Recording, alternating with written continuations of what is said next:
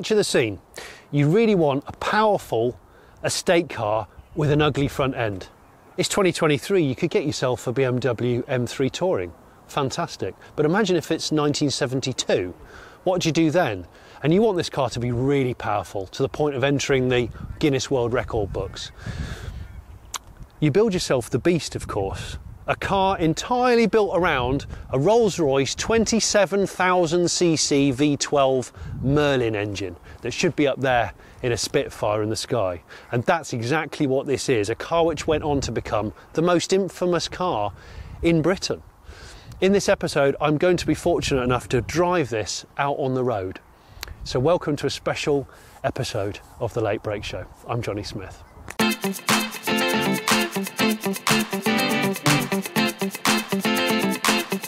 you.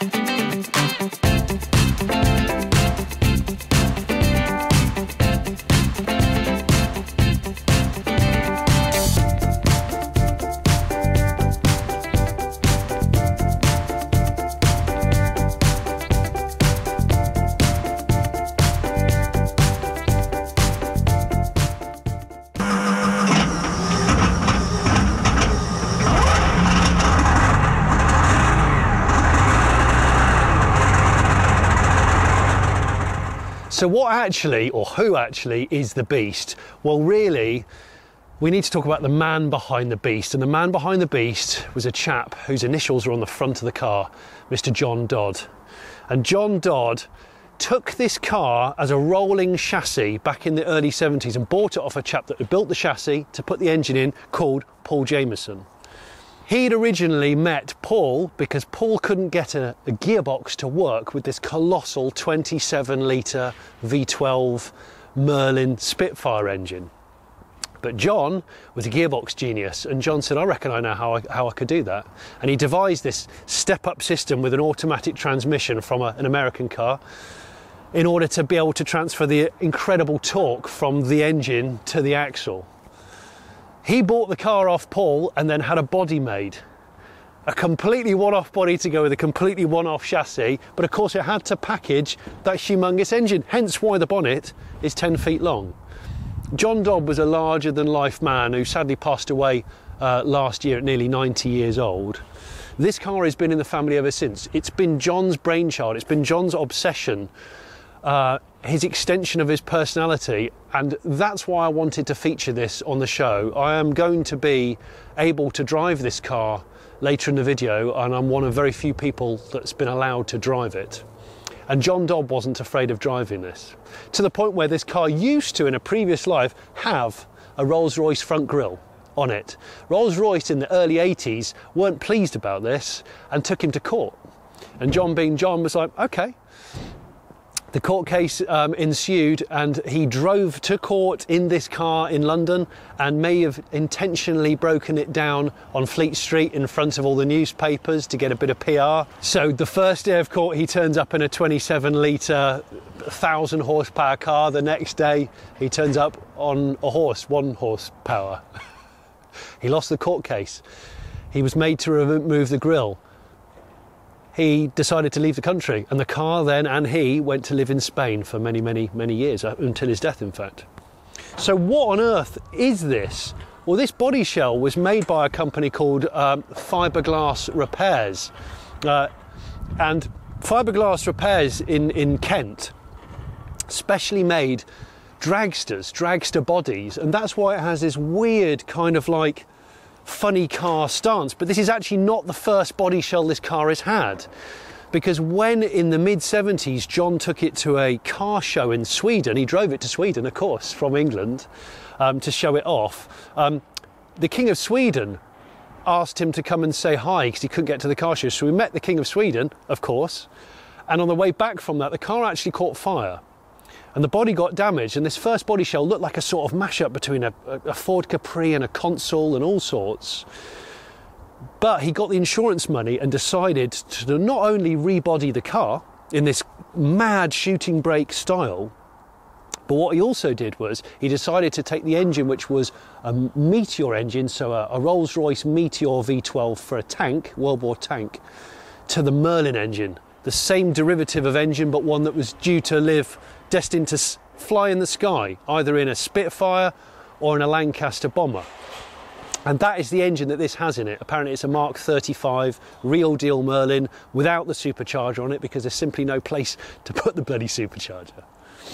That's why you have all these air holes and everything because it's a heavy breathing engine that needs lots of air because it's used to flying, not driving. So let's talk about design. Obviously, it's an incredibly weirdly proportioned car. The side, the profile of it's the, the weirdest, in fact. Centerline wheels, the front end, the suspension and the steering is from a, an Austin A110 Westminster. I think it's independent. The back end used to be Jaguar independent rear from an XJ12 um, for many, many, many years. And in fact, this axle on it, which is a Currie Ford 9 inch modified drag axle, was fitted just after he died. He'd had it commissioned and was going to fit it but never got around to it. And bear in mind, this is a chap who, like I say, nearly 90 years old and he still drove the car still drove the car fast and still wanted to try and set some, some land speed records and take it up the strip in Santa Pod. So that has the axle on it now. Side exit exhaust. Apparently, these doors are modified from a, a Mark III Ford Cortina, and we don't actually know because John Dodd didn't really write down a lot of spec about the car. It was all up here. And that's what we're now finding with John's family, who have kindly let me come and see the car today and drive it. We're trying to decipher what bits are from where and the start procedure alone is, a, is, a, is an epic story in itself. Put it on. Uh huh.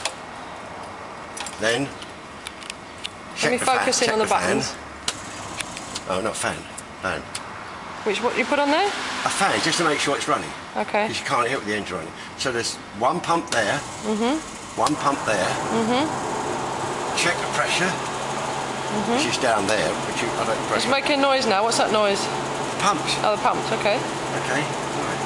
Then switch them off temporarily. Mm-hmm. Put the prime on, which is the, the last one Oh, that lights up? Yeah, that lights up. The others should light up, but they, they're old and they don't, you know? Mm-hmm. And then what you do is you, you, you give it about a five to six second prime. Switch it off, it changes the note. Mm-hmm. Put both magnetos on. One, two, right, and press the button, it goes.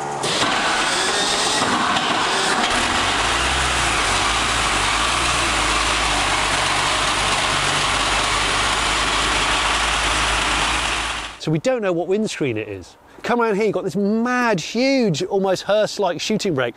It's kind of like a Reliant Scimitar that's properly gone roidy and gone down the gym. but I really like it, and I especially like the back end. It's got a multitude of Mark 1 Ford Capri rear lights and this hatch. So it's actually really practical, right?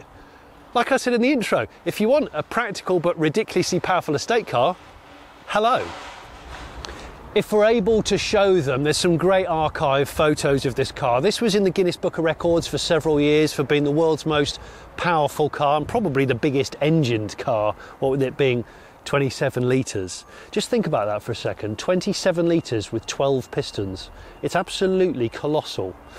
Um, and John used to drive it on two star petrol because it didn't need really, really high end petrol because it was a, a wartime engine that was used to running on any fuel you could pretty much get. Eight headlights.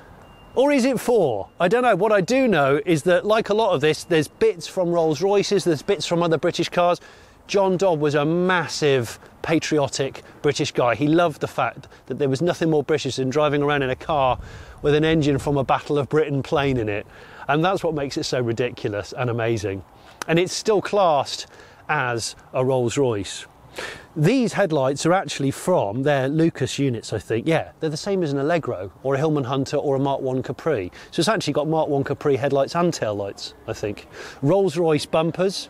Obviously, the Rolls grill is no more. Let's not mention that again.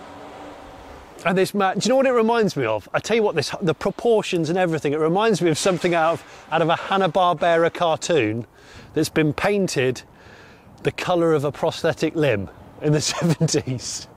But what's cool, I know we joke, this is on the cover of numerous magazines. If we're allowed to use any archive shots, I'll show you some from where John did many, many uh, TV appearances throughout the, Europe with the car. Uh, it was on the cover of Street Machine magazine in 81 with the Rolls grill on it, um, which is a really iconic thing. So this car is absolutely infamous. And the reason why I'm allowed to do this video is because this car, if you're watching this when I release this video on the Late Brake Show, it's for sale right now for the first time in history. It's for sale, it's leaving the family, and you can buy it via auction uh, through Car and Classic. And yes, I do want it. Yes. If you thought the outside was 70s, the Beast's innards are like Battlestar Galactica meets two miles per gallon because that's what you're faced with. You've got these amazing laid back 70s seats, brown and beige two tone, and all the glass fibre, the one off glass fibre that was done on the outside, all this stuff is, is here. And there's such a colossal centre console because the last bank of cylinders under the engine bay sort of protrude in, uh, across into here. So this has all been moulded around that massive engine mated to the TH400 auto box. Um, so it is a two seater. Even, but it's got a massive amount of space at the back there. John never got around to fitting power steering, so it's it's just about arm power on this lovely 70s wood rim. I think it might be a Grant steering wheel, which I love. I'm noticing again that stalk is very strangely familiar to a lot of British car people. That's from a Hillman Avenger, I know it is, or something like that. Aero gauges, that's from a Ford. I'm sure that's from a Ford. But you know, it's a comfortable car, right? And there's loads of space in it because John actually used it as a Grand Tourer. When he moved to Malaga in Spain, he used to drive the car back to the UK for MOTs. He used to drive it regularly at near VMAX or as close to VMAX as he could get on the German autobahns. He said he never went beyond 185 because it started to feel a bit dicey. And I'm like, yeah, of course, because remember back then tyre technology was nothing like what it is now. Nothing like it. So the fact that this even would do over 150 and not feel weird is, is a miracle. The engine weighs just over a tonne on its own. Just to put that in perspective, I'll show a shot of it now uh, parked next to a Suzuki Jimny. The whole Suzuki Jimny is the same weight as the engine in this. Let's reveal the beast, the heart of the beast. Gosh, that's so nice and so nice and warm. So this is this is what it's all about. Now I am not an aeronautical expert, so please forgive me. What I do know, um, speaking to the Dodd family and, and reading up about it, is this is a Mark 35 Merlin engine, not a Meteor engine. So as I said before, in its original guise, it's had a Meteor engine. Both Rolls Royces, both V12s, both 27 litres, but the, the, the Merlin was living in the sky with a Spitfire or a Lancaster. The Meteor was a ground dwelling machine for a tank. And when the car got damaged and got rebodied and rebuilt, that's when John decided to splash out actual serious cash back in the late 70s on putting a true Merlin engine in it, albeit without the supercharger. So it lives on a bespoke chassis. The V5 document refers to this car as a Rolls Royce coupe. But what John did is manage to package everything that you need here. You've got the steering box down there, you've got that suspension from a, an Austin Westminster, crucially also keeping the damn thing cold because this is supposed to have lived up there in the air where it didn't need any cooling or man-made cooling it just used the air. This has a huge thick radiator there and a massive expansion tank which i first thought was a a brown paddington bear suitcase but it's actually an expansion tank. And it uses a Holley four barrel carb which is underneath this piece of copper here open throat carb with a homemade inlet manifold. And there, look, the engine disappears slightly underneath the windscreen line. How much power has it got? Well, if this was supercharged, like the original Merlin, it would have been about 1500 horsepower. John Dodd always said in interviews it's around about 1000 horsepower. So, what was the purpose behind it? To get a car that could really go fast? Oh, yes, cruise at 200 miles an hour and uh, beat anything else and make it all British. Apparently, it was geared for about 300 miles an hour, but the gearing has since been changed because nobody needs to go 300 in this. Nobody needs to do 200 in the Beast. It's noisy, but it's fast. But that's the thing about John Dodd is he really liked to use it. He loved the theatre, the ridiculousness, the boundary pushing of this car to the point where when he was in Germany once, he did actually um, overtake a, a baron, a, a German baron driving a Porsche, and um, ended up phoning Rolls Royce to ask them about this new high-powered coupe that he'd seen on the on the road. There are so many stories attached to the beast, and I honestly can't I can't explain all of them as well as the family would be able to. But um, what you do need to know is this thing has twin magnetos because obviously it's an aero engine. Um, 760 pounds feet at pretty much idle. This is a low revving engine, about two and a half thousand RPM maximum. It idles at 150 RPM. Bear in mind, an average family car probably idles at about 700 RPM, something like that. And that's the thing, it's not built to go in a car. And that was always John's genius of getting his step up system to work with an auto gearbox with such a low revving engine so that it could actually talk to the gearbox and the gearbox knew what to do, where to put the power, and for it to be drivable in some way. Fuel tank, 26 gallon fuel tank this has in it. It used to be a dry sump when it was an aeroplane engine, it's now a wet sump for packaging purposes. Um, 10 gallons of oil. So when you come to do an oil change on the Beast, you you're going to be spending some coin on just the product, just the oil, 10 gallons. But on the flip side, it doesn't need super unleaded fuel. Like I said before, it was it, it all run. John used to run it in the 70s on two star. If you're a young viewer, you'll have no idea what two star, three star, four star, or five star petrol is. But it's basically grades of, of fuel. Five star being the equivalent of super unleaded. Yeah, what a thing though. I have to say, this is the first time I've ever seen the Beast. I remember watching it on Top Gear uh, 25 years ago, and Car and Classic just did a video with Steve Berry, the original presenter, um, who revisited the car after 25 years, and it was brilliant.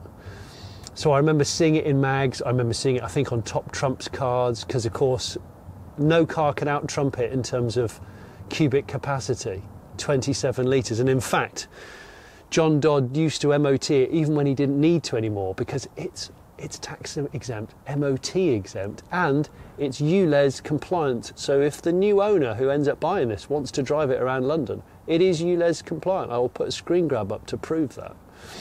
He used to just want to get the tax disc, which would say Rolls Royce and 27,000 cc. I'm fortunate enough to have driven a lot of cars in my career, and I have actually been out before in a, a Rolls um, Meteor engined car, a car um, called a Rover SD1 that I did for fifth gear on TV years ago. But that car was inspired by this car. In fact, I think this is the first aero engined car ever built. But you want me to stop talking now. You want to know what it sounds like and what it drives like out on the street. So I'm going to shut up. Let's do that. Okay, in order to get the Beast flight worthy, and, it, and I say flight worthy because there's lots of rocker switches and actually none of them are labelled. There's a strict procedure to, to firing up um, the Beast. I've got Steve just off camera, who's the custodian of the beast, who's leaving a hawk eye on me. So I turn the ignition on one click, and there's a light down there which tells me it's okay. Then I go to this bank of switches, and it's the fourth one in, which is the check for the electric fan, because you have to do checks. Then I, that one and that one, that one, those two there are the electric fuel pumps. I will check them. So I just run one of them and I can see there's pressure. Second one, definitely pressure. There's a tiny gauge down by my left foot. It's buried. So they're okay. And then you prime it with that one. Yes. You prime it with that one for five seconds. Sorry, not that one. No, it's not that one. It's that one. It's that one, yeah. That one's a prime. So it's, I'm glad I don't. I don't. I'm glad I'm. Hey guys. No, that's right. So that's the priming one. You prime that for five seconds, And then you leave it on and then hit the. and then leave it on, and then I switch the uh, the other fuel pump on, and the other fuel pump on, and then I flick the magnetos, and then I fire the button.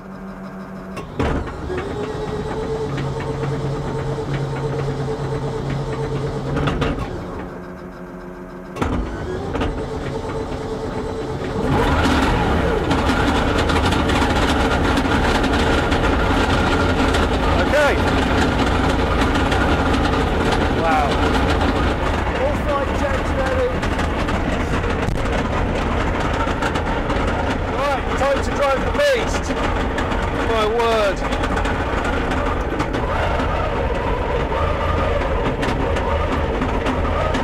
I don't want to stall it, so I'm actually left foot braking it just to, when it's cold, we just want to make sure it's happy. Right, let's go. I've been fortunate enough in my career to drive a lot of interesting cars. A lot. I'm not sure I've ever driven anything like the Beast. No, no seatbelt.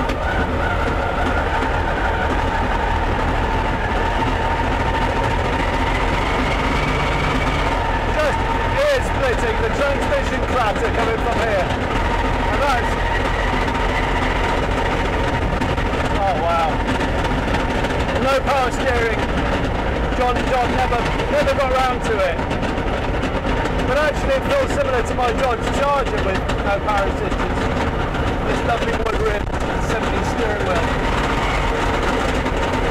You are aware of the bonnet. No seatbelts. But good visibility, thankfully.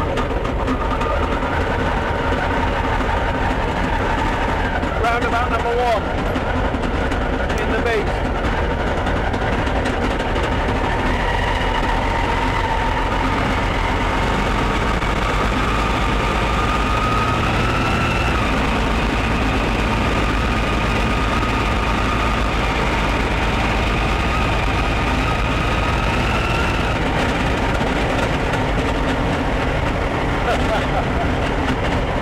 Wow.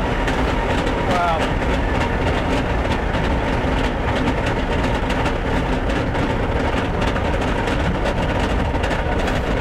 I am concentrating exceptionally hard. The brakes are okay.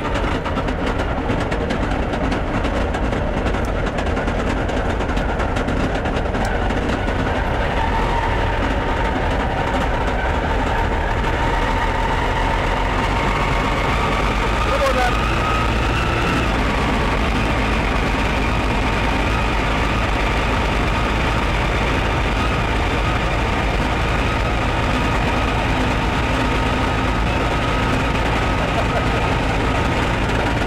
It's got eight headlights.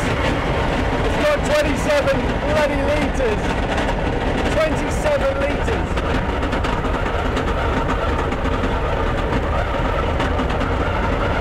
Yes. What a thing. I mean,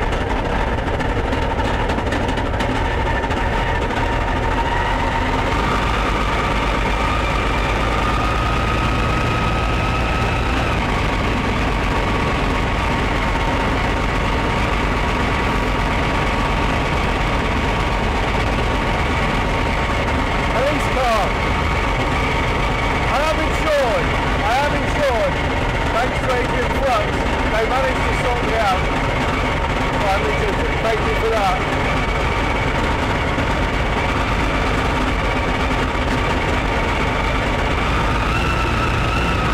Just not how. Just wants to take off.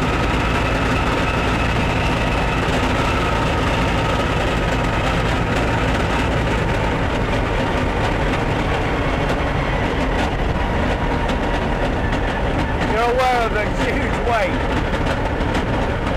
Such a long thing.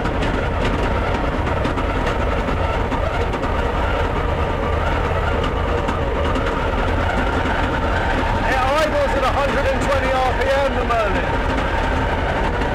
Which is too low for most auto boxes to really registered.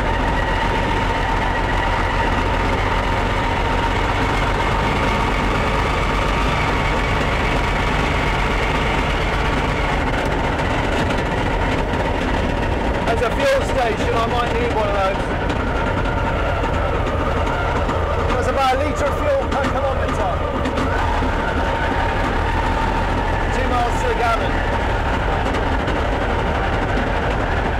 Welcome to the No Brake Show. I'm Jonny Smith, and we are driving the Beast.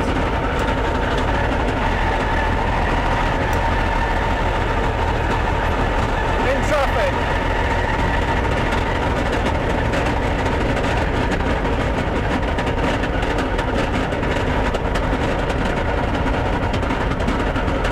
warming up. She's warming up now. Let's see what we can do. It felt so weird without the seatbelt.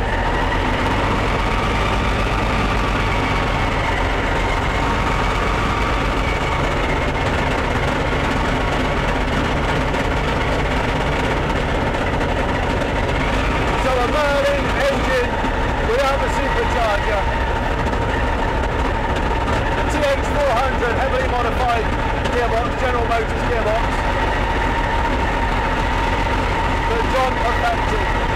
Going into now modified Currie drag car 9 inch rear axle. There's a lot of police activity.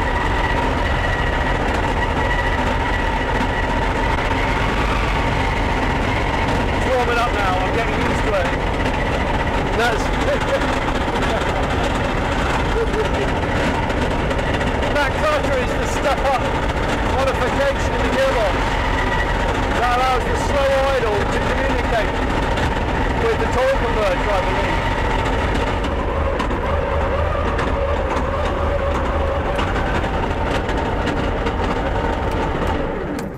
Oh. oh my word, what a sensory overload. The beast. Wow, that was that was quite something. That really was quite something. Quite daunting. And I did feel I, I, I, I almost felt the sort of spirit of of John Dodd watching over me because John used to drive this car hard. If you look at any old archive footage, he would give it some and he would notoriously talk about taking it on the autobahns in Germany and trying to kind of VMAX it. But of course, back then the tyres weren't that great. There weren't many 200 mile an hour tyres. It's so loud, but you can't actually tell it's a V12 until you kind of start carrying a bit of speed. It's, it's all the, the cacophony of the gearbox and the whole transmission system. But actually, the ride is really good. No seat belts. These amazing kind of Buck Rogers chairs. You just lay back in them, and it, and the steering's nowhere near as heavy as I was expecting. Um, I'm used to my Dodge Charger, which has no um, power steering. It's quite similar. Once you're above kind of 20 miles an hour, it all just feels all right. Wow, what an experience though. Feels properly special. I'm tingling and it's it's you you can imagine if I could give you the smell through the through the screen, you'd know how this car would smell. I, I feel like someone's just tipped a can of petrol over my face, but it's it's it's phenomenal. What a phenomenal thing! Goodness me. I never thought I'd actually see the beast in the metal, uh, let alone drive it, and it feels ex- extremely special, actually quite emotional. But you know, I felt overwhelming sense of responsibility. This is a true one-off car. If you're watching this at a time when we've just released this video, the car auction will still be live. You you could own this. You could be the first person outside of the Dodd family to ever own it. It's a true heirloom and a true eccentric extension of John Dodd's personality. It's a completely pointless car, but also it's an incredible feat of engineering and it's notorious and infamous in a purest sense. So many magazine covers, so many BBC interviews, so many press cuttings. It's just, it's a very, very special slice of our petrolhead kingdom. I hope you've enjoyed this episode of the Late Brake Show as much as I have. If you haven't already subscribed, then what are you thinking? You need to subscribe. If you want to become a Patreon, have a look in the description below and you can support us that way. Or maybe you want to have a look at our merch shop. Again, I'll put a link in the link in the description. In fact, I will put a link in the description for the for the auction of this. Yeah, I'll do that. Thanks for watching.